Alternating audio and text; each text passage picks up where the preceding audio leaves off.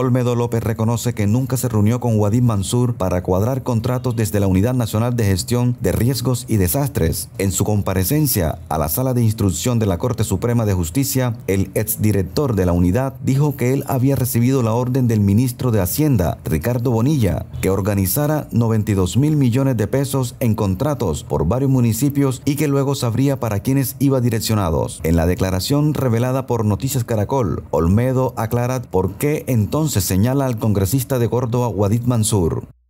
Fue el ministro en su despacho quien eh, determina y me da el nombre del representante Mansur como el encargado de los enlaces con los demás congresistas. Si yo era el encargado del enlace de los demás congresistas, ¿por qué se reúne usted con la otra congresista? No me reuní con él, pero me dieron la orden.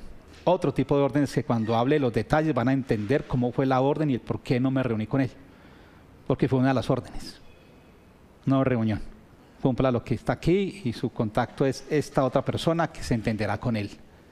Según Olmedo López, una congresista de los afectos del gobierno se presentó a su oficina con la orden de organizar las supuestas coimas contractuales y de su puño y letra le escribió en su agenda los nombres de esos senadores y representantes. Y yo lo que hago es que le entrego mi libreta.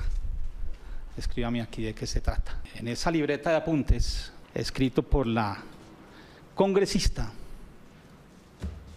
están los municipios para donde efectivamente el ministro un tiempo atrás había direccionado los contratos y hace la relación de los congresistas que hicieron parte o hacen parte de ese acuerdo con el señor ministro. Contratos que relacionaban o relacionan los alcaldes, los funcionarios de las alcaldías o el contratista que va a manejar el contrato en ese municipio.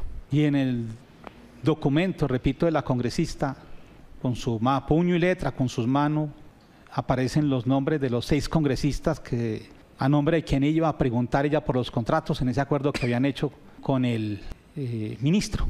Wadi Mansur se ratifica en que nada tiene que ver con ese asunto, que nunca se reunió con directivos de la Unidad Nacional de Gestión del Riesgo de Desastre para organizar irregularidades y recuerda que fue él quien le pidió a la Corte Suprema que le investigara porque no tiene nada que esconder.